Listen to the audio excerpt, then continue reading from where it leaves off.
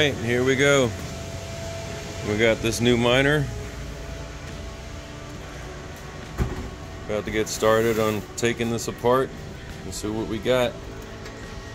We have E-Man over here at HM Tech.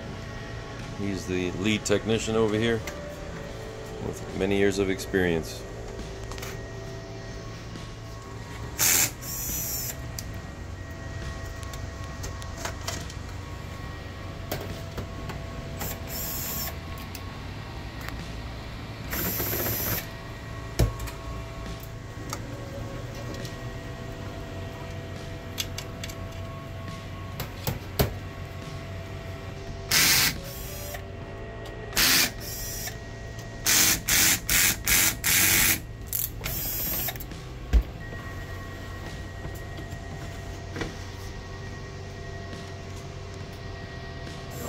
Into it.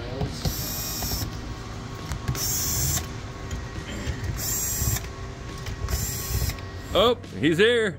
Hey. so we got Skot here, chip level expert. And then we have E-Man here, the lead tech at HM Tech. And then we have other experts over here overlooking. Let's see what we got. Well, let's see what we got here with the Desiwe miner. Hopefully, I even said that right. This is a K10 Pro, 170 terahash. It's supposed to do 200 terahash of boost.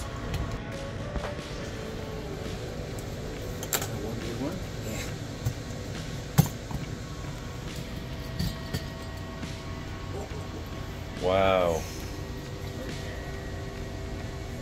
So, a lot of ASICs. That's how they get a thousand in there.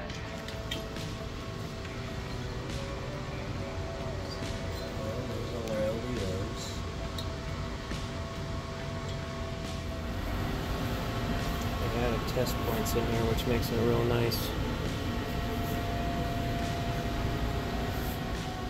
So it makes it easy to find the bad chip with yeah. the open test points.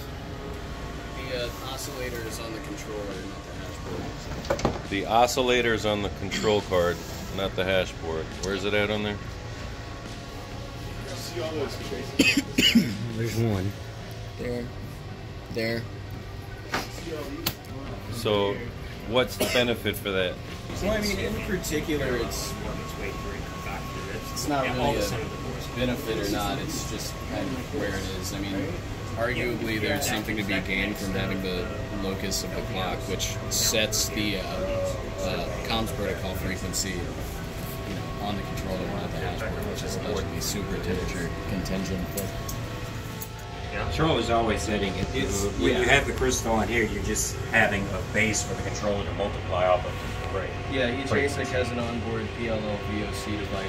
Uh, so that's bas- basically it means that the um, so when you're talking about a UART signal bus or a SPI or I mean technically speaking UART doesn't actually require a clock. However, um, your transceive and receive need to be within 10% of each other. That's crazy. Line with these guys, so We just found out that and then feed the point down. one hash board has 364 chips. Lots of chips, low voltage, high density. They can run low clock frequencies, low voltage, low amperage, and not generate a lot of heat on the board by itself. That way they can run it at higher ambient temps. It's pretty smart. And the crazy heatsink is this one. This is the one with the heat pipes in it. Oh, is it? Is it piped? Yeah. It's it's it's There's heat pipes in the heatsink laced too? with Copper heat pipes inside. They had one off at the uh, at the show. That's a manufacturing challenge if I've ever heard. And it's Flip- heavier. flip It's that over. heavier. Like I don't even know if it's aluminum.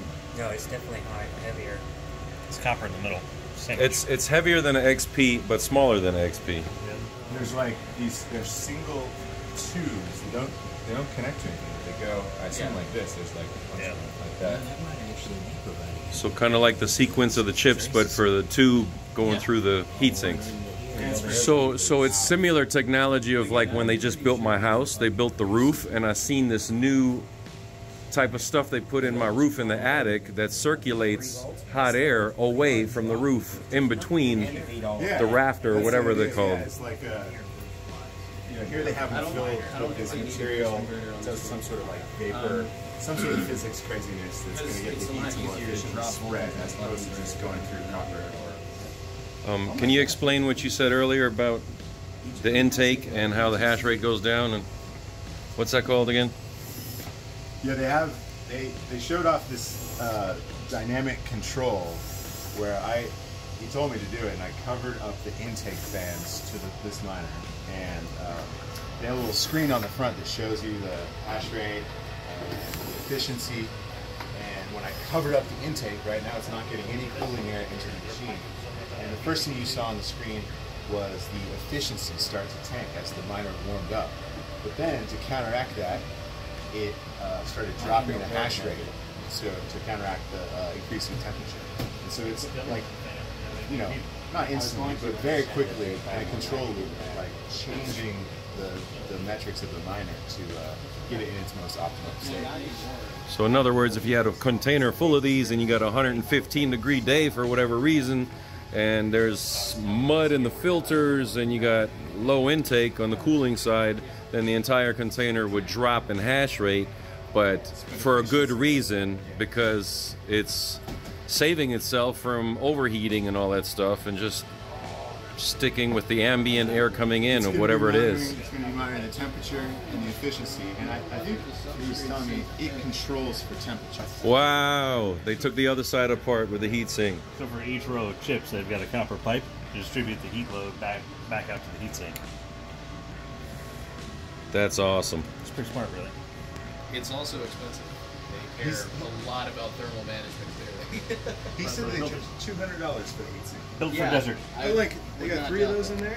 Fine. But I paid in Bitcoin to them on the spot and got the one that they had on the table. So it's literally the first one in America. Retail price, three grand.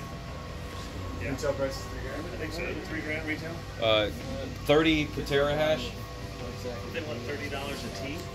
for the for the Ultra, and then 25 a T for this one. Okay, so each of these digital I/O groups has a PTC, uh, an SMD PTC right here, a positive thermal coefficient uh, thermistor. Um,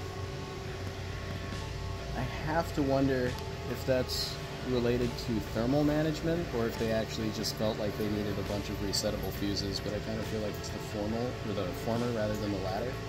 It looks like they've decoupled every um, SPI bus line here, what I assume to be SPI. Um, and then we've got low frequency decoupling with this big capacitor right here. Yeah, let's put it back together and run it and see what the numbers look like.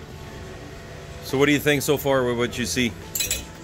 Uh, I think they're taking a different approach to how to achieve higher hash rate, which is pretty cool to see.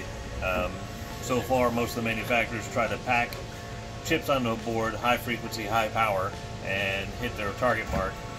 It looks like Desiwe is trying to do a, a high chip count and be more efficient, so lower voltage, lower frequency, thus generating less heat, and hit higher targets. So time will tell. We got to uh, we got to torture test it and see what's next.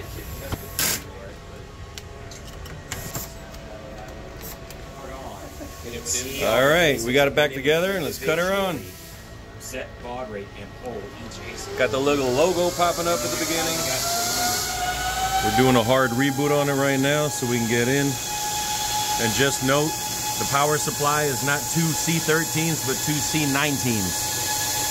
So it's like twice what's miner. And the, I was told the PSU is around 5,400 watts. And this bad boy got freaking speedometers on it. Get ready to take off, folks. All right, we got our hashing at 171 terahash right now.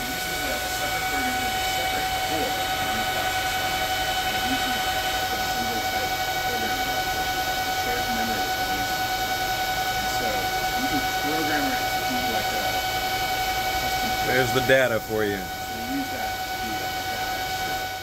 All right, well, I'm here with Skot, and he's going to give you a basically a conclusion to what we just did with testing for literally the last three hours, uh, just in normal mode. We didn't go any higher than that because people have to go back to work. You know, people have jobs.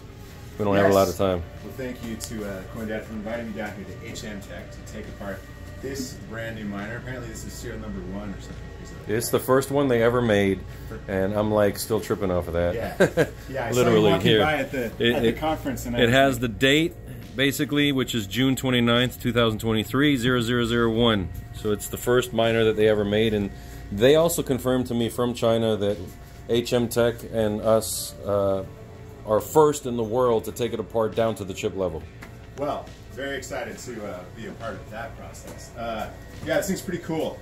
Um, we got it up to 179 terahash, right? And um, it's it's rated at 4,800 watts is what we got. 5,200 watts. It's, but it goes up to we go we were running at 4,800. Yeah, yeah, that's right. That's right. 5,200 watts. Um, but the cool thing was taking it apart, right? This thing has a thousand 92 ASICs inside of it. We took it apart. It's got these crazy heat sinks that have um, uh, copper uh, heat pipes in, uh, milled into the bottom of the heat sinks. Uh, Is that soldered together in there? I believe it's soldered together. Yeah, inside the aluminum heat sink, we got a copper heat pipe uh, because that is these guys' claim to fame. Right? That's what they're doing. They have their their chip is a, an eight nanometer process, which is a previous generation. They're still claiming 22 joules per terahash, which is pretty fantastic. That's what the latest five nanometer ASICs are pulling. So the claim to fame here is that they have a lot of them in here. They got 1,092 chips in here, and they've got like a super good temperature control. They're able to get the heat out of there so that that ASIC can run right at its like optimum operating point, so the efficiency can stay uh, good. And they, they control for heat, which is kind of unique in a miner. That normally they're controlling for the maximum hash rate, but these guys are going to control for heat. So if it's like you're in Texas and it's super hot, you're still going to be able to get that efficiency. Um, because they got the sweet heat sinks in there and they, the control board actually like controls for heat. We thought we saw some uh, temperature sensors on each one of the voltage domains. Uh, not quite sure how that works. I'll have to figure that out. But uh, yeah, it was it was it has got this little screen on it right here, and uh, it was it was telling us it was running at 22 joules per terahash, uh, which is, is pretty fantastic. And it's it's a little smaller than your uh, your the XP. The, yeah, the S19 XP. It is a little heavier, uh, but smaller than the XP, and yeah. heavier because the heat sinks are more, you know, heavy duty with yeah. the pipes in there, and then all the chips uh, because there's so many chips. So basically, it's a density thing yeah. with a lot of power packed into this box that's smaller than XP.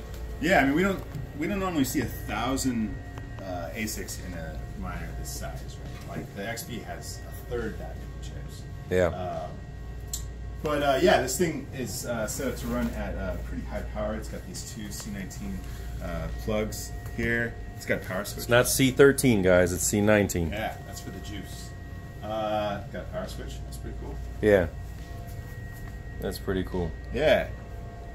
Um, yeah, it was pretty cool to take this thing apart. So thanks, you guys, for uh, letting me see that.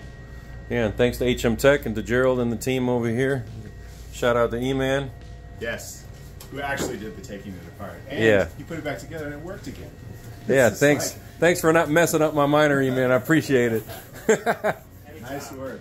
All right, you'll, you guys will see it at the future conferences because I'm gonna put it in the museum, and obviously I'm gonna be running it in between the museums. Yeah, no, we didn't even mention that. That's the crazy part.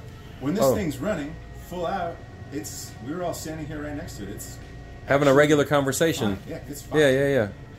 That's true. The the noise part of it is like much better. Much lower. Much yeah. lower decibels yeah. than than most miners that size. All right.